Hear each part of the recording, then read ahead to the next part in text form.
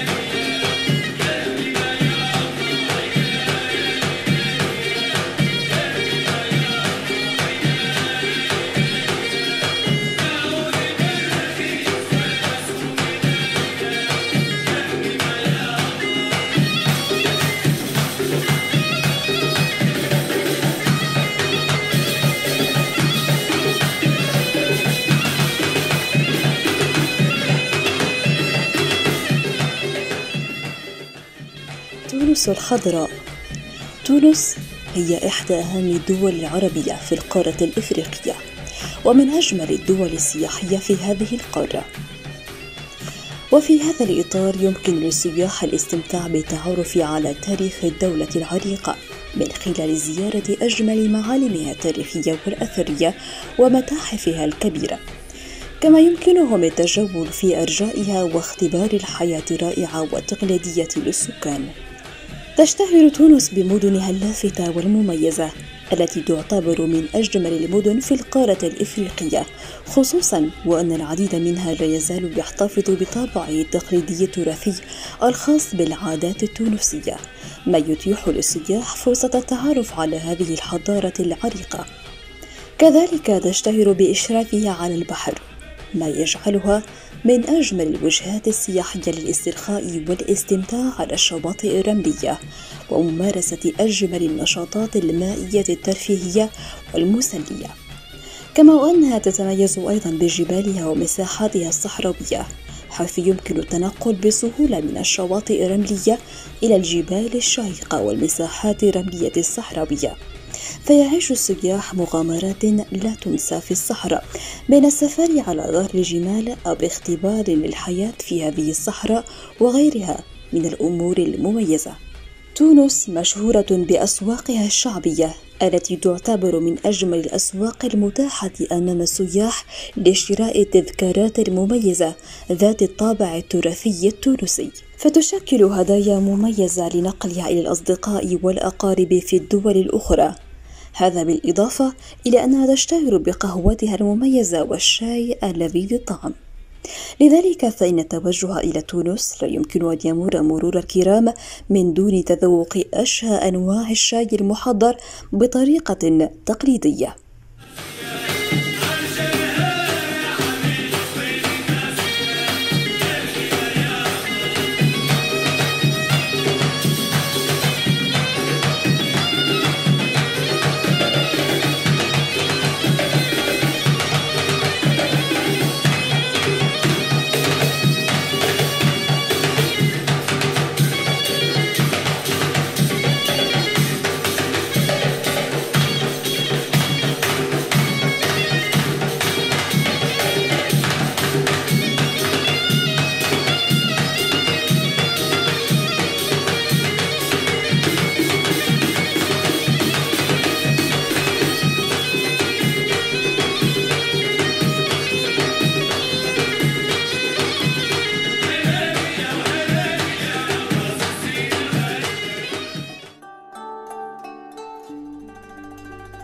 مدينة مونستير التونسية. تعرف مدينة المونستير في تونس بأنها مدينة الحكام والوزراء التونسيين فهي مسقط رأس رئيس الجمهورية التونسية الأول الحبيب بورقيبة ومرقده أيضا. وهي مدينة تاريخية بناها الفينيقيون ويعود تاريخها لعام 509 قبل الميلاد. ويذكر التاريخ أن يوليوس قيصر نزل بها بعد أن خاض معركة كبرى فيها وجعلها قاعدة عسكرية لجيوشه.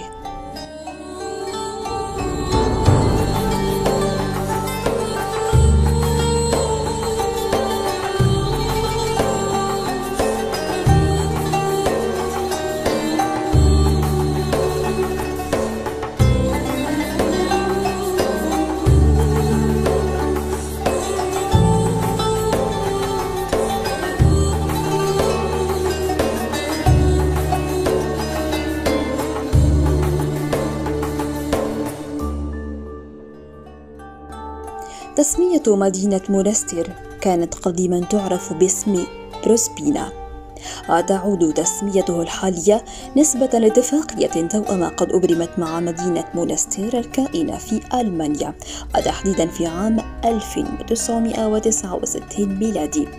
وذلك للتشابه الكبير بين المدينتين من حيث النشأة والتاريخ ومعالم كل منهما وأبرزها وجود دير فيهما من الطراز نفسه. سميت المدينتين باسمه لأن كلمة منستير تعني باللغة اللاتينية الدير. وقد كانت ملاذا للنساك والرهبان. وفتحها المسلمون في القرن السابع للميلاد وجعلوا منها حصنا على البحر المتوسط. الهدف منه حماية مدينة القيروان التي كانت عاصمتهم. تقع مدينة المنستير في الجهة الشمالية الشرقية من تونس وهي من أهم الموانئ التونسية على البحر الأبيض المتوسط وتتألف من عدة جزر. منها جزيرة المائدة وجزيرة الوسطانية وجزيرة الغدامس. أهم معالم مدينة منستير رباط المنستير وهو واحد من أمنع الحصون الدفاعية والحربية للمرابطين. بناه ورثم بن الأعين في عهد الخليفة هارون الرشيد وكان ذلك عام 796 للميلاد ويبلغ ارتفاع برجه قرابة العشرين مترا. يمكن مشاهدة كامل المدينة منه. والكورنيش هو مرصوف بالحجارة الآجرية ويمكن مشاهدة الجزر والتلال المجاورة للمدينة من خلاله. تعرف مدينة المنستير بأنها غنية بالآثار التاريخية والتي تعود للعهد البيزنطي كالمعابد والأضرحة والأنفاق والكهوف المحفورة في الصخر والتي يعود تاريخها لأكثر من أربعة آلاف سنة. كما تتوفر فيها مقومات السياحة الناجحة فتشتهر بنظافة وتنظيم شوارعها كما تكثر فيها المنتجعات والفنادق حيث يتم الوصول إليها بواسطة الجمال والخيول وتلقى استحسان السياح الأجانب بسبب توفر المنتجعات المطلة على البحر والفنادق التي تقدم للراغبين من نزلائها ميزة استئجار كوخين القش على البحر. كما يوجد فيها الحدائق الغناء والمطاعم والملاعب.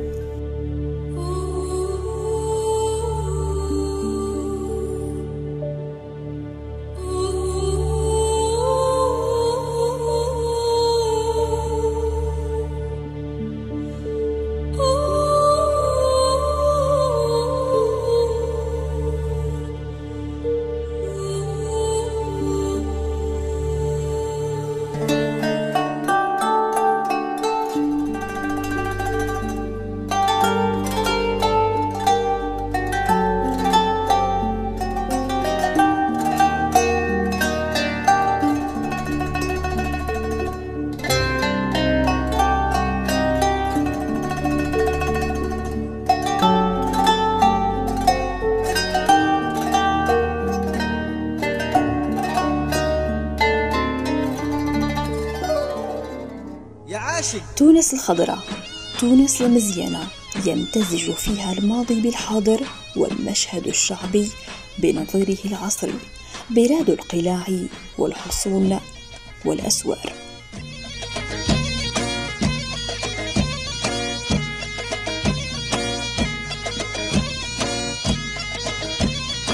راس جدودك هفضوا مريض طلي قلبي واجع هالمغروب راس جدودك ها فطومة هاني مريض طلي قلبي واجع هالمغرومة ادعي ليك تصلي ادعي ليك تصلي.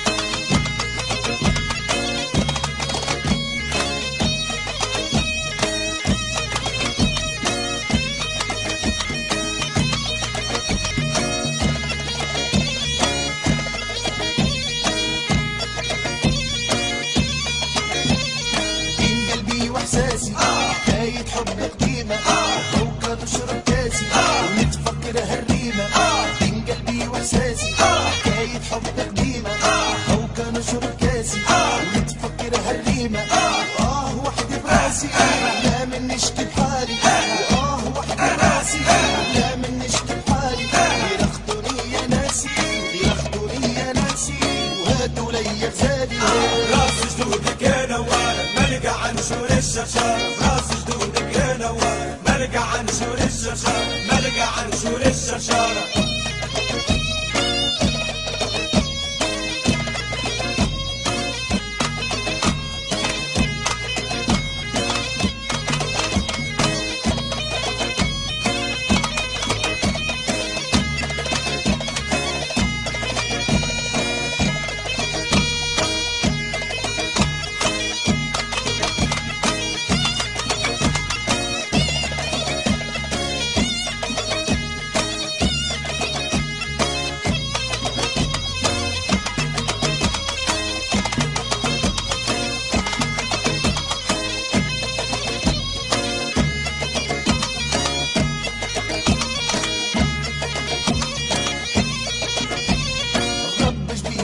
هيا للنادي للكسوس هيا يا بنية عبد الله الله طارق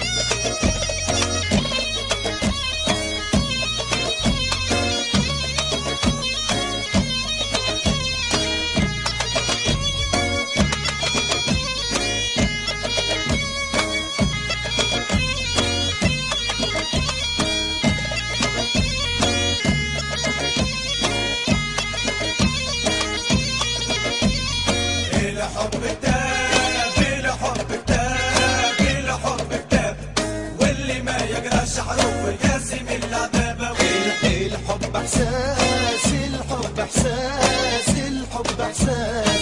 واللي صابر طول محبة ما يخبي عن ناس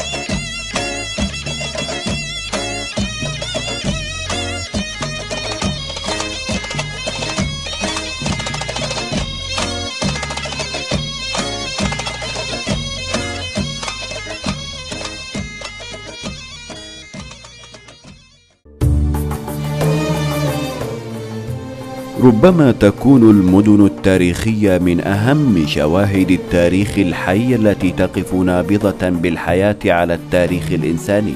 فهذه المدن ظلت على الدوام مركز استقطاب للبشر لما تمثله من أهمية في جميع مجالات الحياة الإنسانية التاريخية والجغرافية والدينية والثقافية والمعمارية.